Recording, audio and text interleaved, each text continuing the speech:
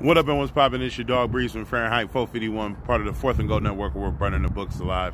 I am here with the inaugural episode of Puck Talk, Puck Talk, Puck Talk, Puck Talk. All right, let's get right into it. One game on today. Got one prop. Give me Tage Thompson, over three and a half shots on goal. He's hit this line in three out of five games this season with one hook. He's hit this game, he's hit this line in his last two games versus the Canadiens with eight shots on goal both games. Montreal also allows the sixth most shots on goal this season.